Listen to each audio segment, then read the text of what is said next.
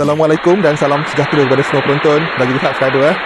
Okey, macam biasa eh dalam channel ni tiap-tiap hari aku akan update uh, status terkini ya bilangan kes harian COVID-19 dekat Malaysia ni. Okey. Bila aku selalu update eh aku selalu update kes harian tu macam-macam komen yang sampai ya yang timbul dekat ruangan komen ya uh, tentang angka tu.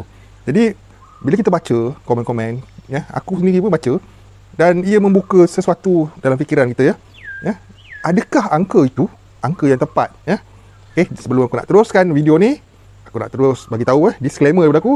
Apa yang aku sampaikan dalam video ni ialah suatu persoalan ya. Bukannya satu tuduhan bukannya suatu provokasi terhadap usaha kerajaan.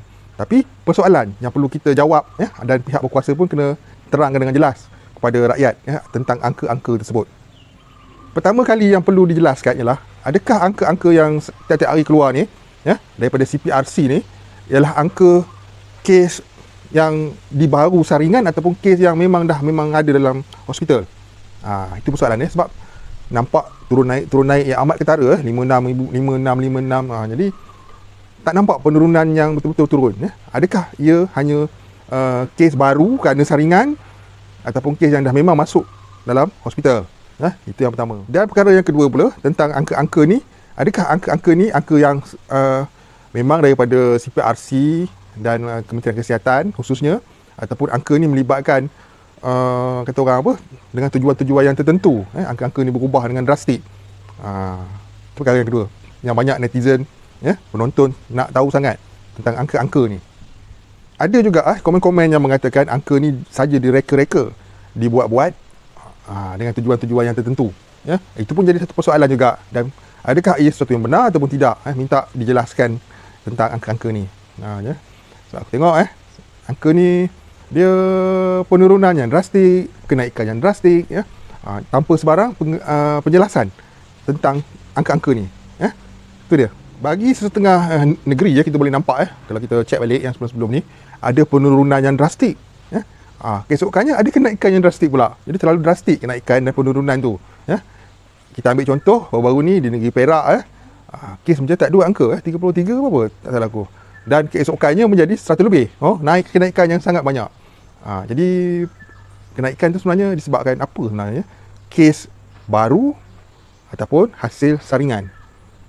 Eh, hasil saringan tu maksudnya kes baru lah tapi kes yang tidak dimasukkan ke hospital. Ha, itu pun satu yang nak dijelaskan juga eh? Dan ada juga yang mengatakan eh, kenaikan dan penurunan ni berkait rapat dengan Okey, bila sesuatu negeri ni, contoh, mengalami penurunan, ya, mungkin rakyat di negeri tersebut berasa seronok. Eh, nah, sebab kira dah kurang rasa seronok.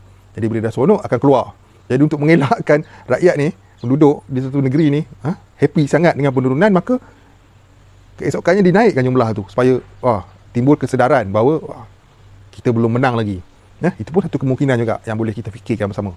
Okey, tentang isu saringan secara rambang, ya, secara rawak ni pada pendapatku ya minta maaf ya ini bukan untuk uh, memprovokasi siapa-siapa tapi ialah pendapat eh pendapat peribadilah pendapat aku ya daripada kita buat ya saringan secara rambang apa kata kalau buat uh, vaksinasi secara rambang?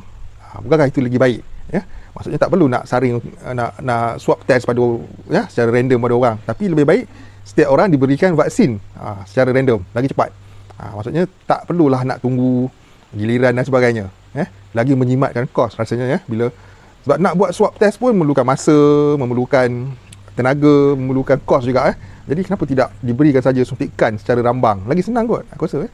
Ha, maksudnya buat satu kaunter contoh di tempat yang sesuai ataupun di klinik kesihatan boleh datang eh. Memang cadangan tu dah timbul dah daripada menteri tentang walk in ni eh vaksinasi secara walk in tapi kalau di awal kan ya uh, dibuat secara lebih awal ya, tak perlu nak saring-saring lah. Tanya dah ke belum ada bukti dah ke belum uh, vaksinasi terus inject ya. ha, tapi kena soal siasat dulu lah ada sejarah penyakit ataupun tidak ha, penting semua ya kaji sidik tu sebelum diberi suntikan ok selesai cakap pasal nombor ya.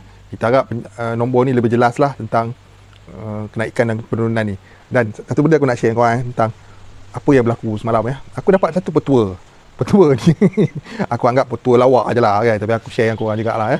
ok tabiat memakan petai. Okey. Tabiat memakan petai dikatakan satu tabiat yang baik. Dia menguatkan sistem imun badan. Okey. apa yang dimaksudkan? Bukan makan petai macam biasa-biasa. Buat sambal lah apa. Tak tapi makan petai sekali dengan kulit-kulitnya. Hmm. Petua. Macam mana aku dapat petua ni? Ah petua ni daripada uh, tak nak sebutlah siapa eh tapi itulah eh, nanti akan menyinggung mana-mana pihak pula eh. Tapi daripada satu suku kaum lah yang aku uh, pergi semalam eh. Banyak kejadian berlaku eh. Patah aku punya uh, gimbal GoPro kerana kena kejar anjing anjing kejar aku kalau kabut aku lari oh terpatah terus gimbal video tu akan menyusun nanti eh sebab aku nak edit banyak benda yang aku nak kena potong banyak benda-benda yang yang memalukan diri aku dalam cover dalam video tu ya aku kena potong cut off eh aku lari kena anjing aku nak rakam kot uhara aku ah tiga ekor kejar Ha, aku tak tahu lah baka apa. Besar lah. Eh. Kelang kabut aku lagi. So video tu aku akan edit. Ya, memerlukan masa yang panjang. Untuk diedit dan dipotong-potong mana bagian yang tak perlu. Eh. Okay, jadi tentang angka itulah adanya. Eh. Rakyat perlukan kepastian tentang angka ni. Adakah angka-angka ni dimanipulasi atas tujuan-tujuan tertentu ataupun ya memang angka yang actual punya angka eh bukan angka yang main-main. Ha, bukan angka yang dengan yang yang diwujudkan dengan agenda-agenda yang tertentu. Itu dah adanya. Ya. Walau bagaimanapun, syabas diucapkan ya, kerana pihak CPRC sentiasa tiap-tiap hari keluar update status kes harian COVID-19 di Malaysia ni. Ya, itu sajalah untuk kali ni. Semoga kita semua aware lah tentang angka ni ya. Angka naik, turun, naik, turun ya, setiap hari. Baru je post kat community, angka ada turun sikit. Kan. Besok mungkin naik balik. Kan? Apa yang kita nak sekarang ni, angka 3 digit. Bukan 4 digit. Ya. Ratus-ratus je. Ha, kes baru kalau boleh biar ratus-ratus je. Jangan ada ribu-ribu lagi dengan trend sekarang ni nampaknya akan mengambil masa yang lama lah. Eh? Lama. Ini dah masuk fasa yang kedua eh. Fasa yang kedua uh, pemulihan. Jadi harap ada penurunan yang drastik pula ni ya. Janganlah naik-naik lagi. Sekian. Assalamualaikum. Salam sejahtera semua. Salam hujung minggu. Bye-bye.